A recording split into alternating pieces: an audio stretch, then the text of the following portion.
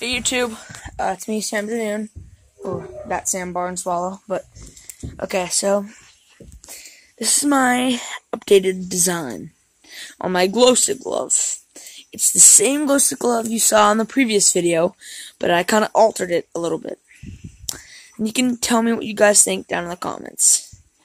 And I know, I know you might say kind of looks goofy, depending who you ask, but it's the reason why I did it. Okay, so if I can see me. Um, so yeah, so see this? The tape, it kind of gets like, you know, it's not like smooth as like the joints the real Freddy glove. So that's why I put all these slits in it so it you can move it better. And like it actually helps actually cuz like when like all the leather was on here and like everything wasn't cut and everything, it's kind of hard to move. Now I can move these joints a lot a lot better. So I'm just gonna do like a little tap on this chair. Show you guys here. See?